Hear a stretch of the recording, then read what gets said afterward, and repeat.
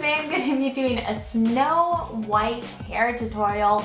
This is pretty fun because if you have long hair or short hair or medium length hair, it doesn't matter, you can create this look. So for the hair, all you're gonna need are a few tools and everything is drugstore. So grab your hot rollers, preferably the ones that have different sizes, a bunch of bobby pins, and then a strong hold hairspray. I'm gonna start off by splitting my hair right down the middle.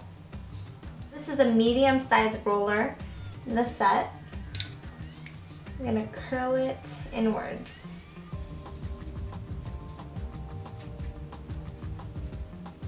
Comes with a claw. Same thing on the other side.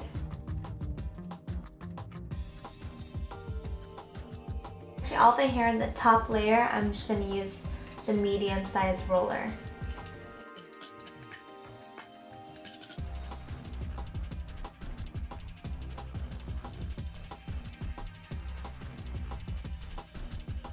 Once the top layer is done, go ahead and just take sections and then interchange the sides of the curls.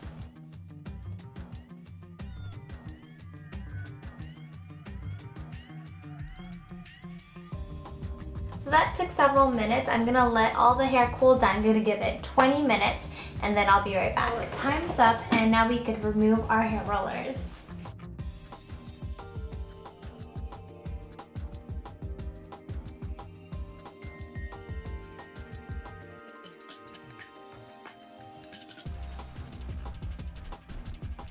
The secret is all in the bobby pins. So this is where if you actually have short hair, this kind of look benefits you. But if you have long hair like me, it could be kind of a challenge, but don't worry, we could get there. And what I'm gonna do is actually work with the curl. I'm gonna take it and wrap it around my finger. And then I'm gonna roll it up. Just pin your hair down.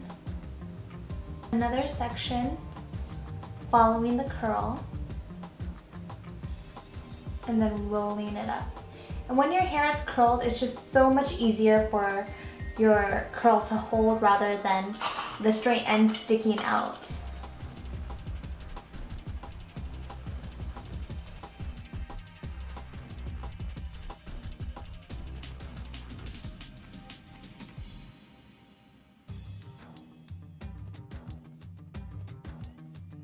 For a full list of makeup used, check out my blog, it's judytime.com.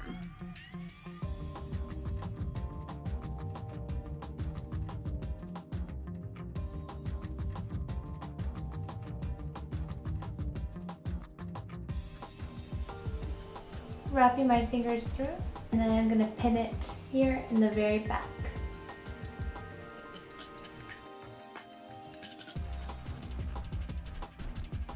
And that's basically it. As you can see, all the hair is in rolls. And I'm gonna take my little wimpy headband that came with the costume. And do not forget to spray with a really good stronghold hairspray that's it. I hope you guys enjoy. Have a fun and safe Halloween. Take care, everyone. Bye.